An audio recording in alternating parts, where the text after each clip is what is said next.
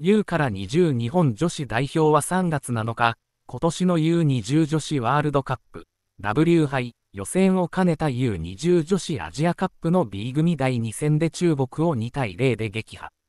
準決勝進出、並びに W 杯出場権を手にした中で、勝利を決定づけた直接フリーキック、FK、弾が反響を呼び、海外記者も本物のショットだ、と熱視線を送っている。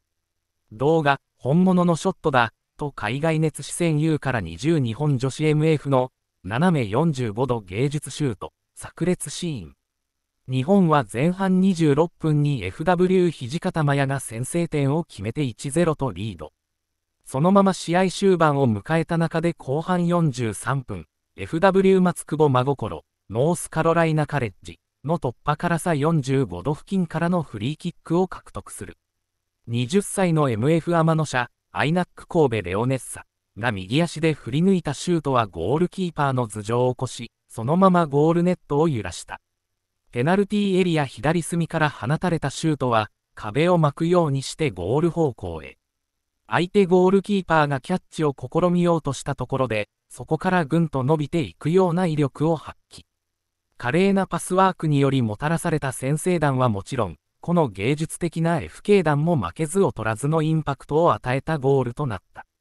日本の追加点は大きな反響を呼んだ中で、海外メディア、スポーツ系だ、などに寄稿するアレックス・ビショップ記者も熱視線。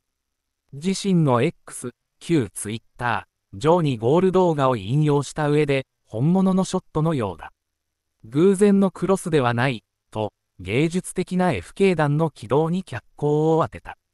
ベトナムを10、0中国を2対0で下し、B 組2位以内を確定させたヤングなでしこ。